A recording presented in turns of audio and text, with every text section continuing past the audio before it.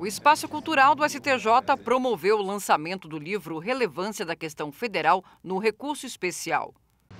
Desde o início da década passada, se discutia no Congresso Nacional a necessidade de um filtro de admissibilidade do recurso especial para o Superior Tribunal de Justiça.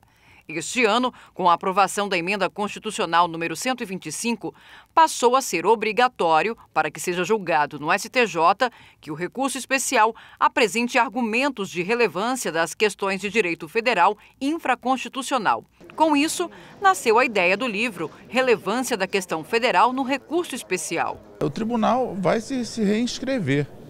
Né? Ou seja, esse tribunal é um tribunal que ele foi é, prioritariamente concebido para ser um tribunal de caráter nacional, de uniformização da jurisprudência eh, nacional, mas com certeza de julgar aqui milhares e milhares de processos que devam ser, devam ser julgados pelo Superior Tribunal de Justiça diante da relevância dos temas tratados neles. Porque a justiça brasileira ela tem para isso as instâncias ordinárias e é nas instâncias ordinárias que se faz a justiça ou eventualmente a injustiça. O ministro Mauro Campbell Marx citou exemplos de casos irrelevantes julgados pelo STJ que reforçam a importância do filtro. Na segunda turma, chegamos a julgar é, habeas corpus de duas chimpanzés. Na segunda sessão, se é direito de um Gold Retriever entrar pelo elevador da frente ou de trás, em condomínio.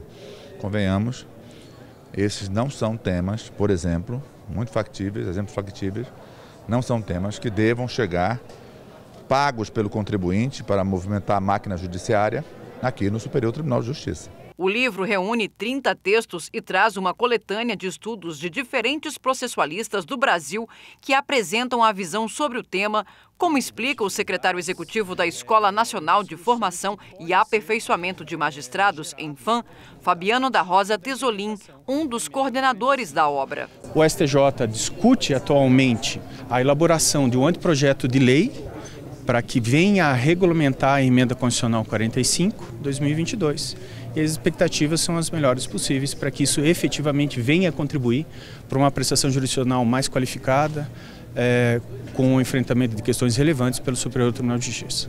O livro também contou com a coordenação dos juristas Bruno Fuga e Vinícius Silva Lemos. Nós começamos a ideia do projeto, já chamamos os processualistas, amigos, professores, servidores, o pessoal que trabalha com isso também. Reunimos quase 50 processualistas e eu acho que em menos de dois meses ali a gente já estava com o livro produzido, dada a importância do tema. Né? É uma obra que representa as primeiras impressões sobre o que é relevância, qual que será o impacto disso no STJ e para o jurisdicionado, já que é uma, é uma alteração que impacta o direito processual brasileiro.